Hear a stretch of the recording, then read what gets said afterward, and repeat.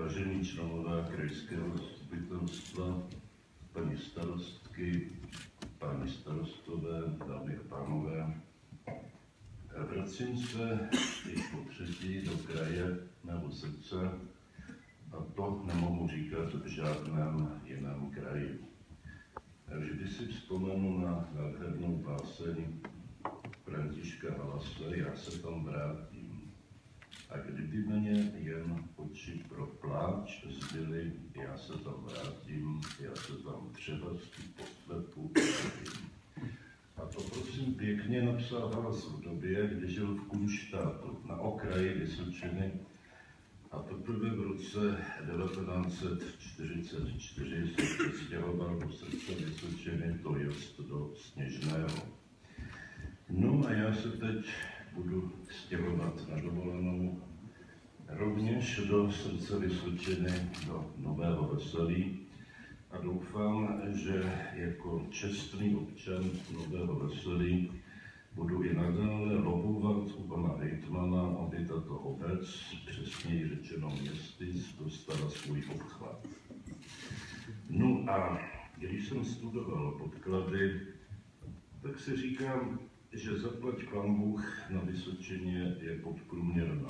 Nezaměstnanost, nejčistší životní prostředí, nejnižší kriminalita, nejnižší sebevražednost, Bohužel průměrná mzda je tady o 2,5 tisíce nižší, než je celostátní průměrná mzda.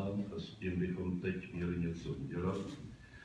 No a protože každý, kdo přijede na Vysočinu, by měl přinést jitřní dar, tak možná, že víte, že jsem se v poslední době docela dost exponoval v rozvoji česko-čínských obchodních vztahů.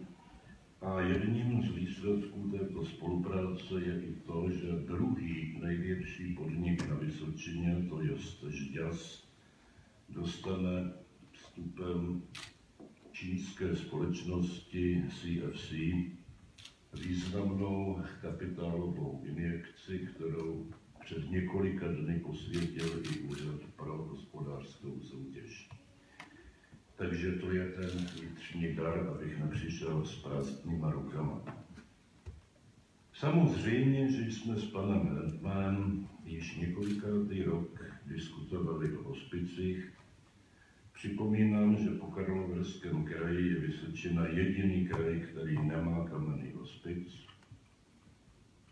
I výhružný a vyčítavý pověd pohled na stranu ale na druhé straně věřím, že se tato situace změní, už proto, že se také připravuje změna zákona o hospicové péči, takže hospice se stanou rovnoprávnými zdravotně sociálními zařízeními. Na druhé straně chtěl bych ocenit, že kraj Vysočina se stará o památky lépe než většina ostatních krajů Přivážím sebou knihu, které se mezi hejtmany říká Kladivo na hejtmany, a to je seznam schátralých památek, včetně fotografické dokumentace. Ale znova opakuji, ve srovnání s jinými kraji je na tom Vysočina téměř nejlépe a za to bych chtěl opravdu poděkovat. Takže těším se na naši diskuzi protože smyslem všech těchto setkání, ať už s politiky, s občany, se zaměstnanci, s vedením podniků a podobně, není pronášet dlouhé monology.